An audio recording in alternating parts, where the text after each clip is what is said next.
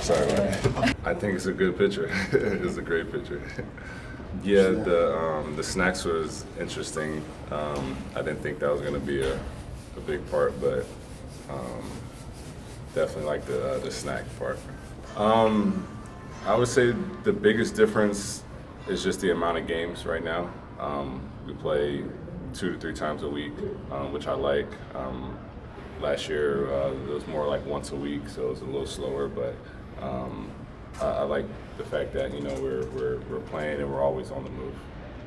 No, I really um, there's not really much downtime to actually you know get out and kind of explore and see other places, um, but I, I, am enjoying uh, my time here. Uh, Changwon is a, a great city you know, it, it has enough city life and it has enough, you know, uh, times where I can just, you know, relax on my own.